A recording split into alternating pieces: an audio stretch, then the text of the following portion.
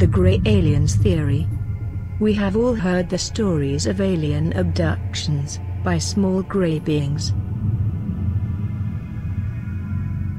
Their victims, after receiving hypnotic regression, describe them as being very thin, short, grey-colored skin, with large black eyes.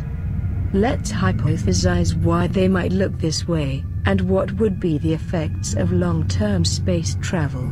We assume they are not from our solar system. Therefore they must have traveled many light years through space. What is space? A dark empty void of vastness, light years in between solar systems.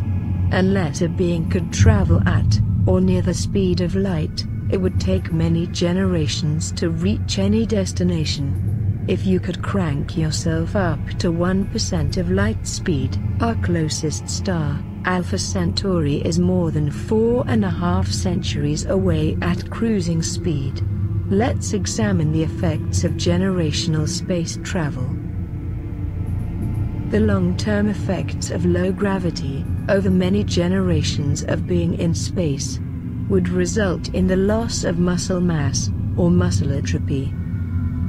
Inbreeding results in increased homozygosity, which can increase the chances of offspring being affected by recessive or deleterious traits. What the fuck did all that mean? This generally leads to a decreased fitness of a population, which is called inbreeding depression. An individual who results from inbreeding is referred to as inbred. Reduced fertility both in litter size and sperm viability causes increased genetic disorders, fluctuating facial asymmetry, lower birth rate, higher infant mortality, slower growth rate, smaller adult size, loss of immune system function. Does this sound familiar? One might think they would bring along extra diverse DNA samples to regenerate and resolve this potentially dangerous aspect of their trip. Another result of long-term space travel would be the loss of skin pigment, and generational mutation would explain the apparent large eyes, resulting from long-term lack of exposure to sunlight, during their travels through deep space.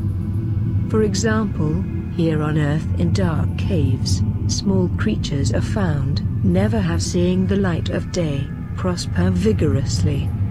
These cave creatures show traits of that which resemble our grey alien friends with no pigment, and large black eyes for seeing in the lightless caves. Now their race has reached an impasse, they no longer have enough of their own viable DNA left, to continue on with their travels. Their agenda now, is to acquire new sources of DNA, from humans, animals, or anything they can get their hands on. The DNA is needed for diversification of what is left of their degraded DNA, and to add longevity to their civilization. Hybrid projects are taking place on their crafts as we speak, creating a new mixed race, to continue on a mission of exploration throughout the galaxy. Unearthed alien skulls seem to tell a compelling story all by themselves. Ancient people revered the aliens as gods.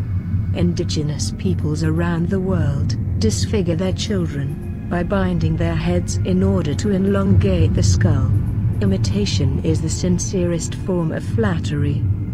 This scenario takes place in Stargate the sci-fi series. In the last episode of the 10th season, the Asgard aliens seem to have suffered the same problem. Our governments denied the fact that they exist, and claim they are not a threat to our national security.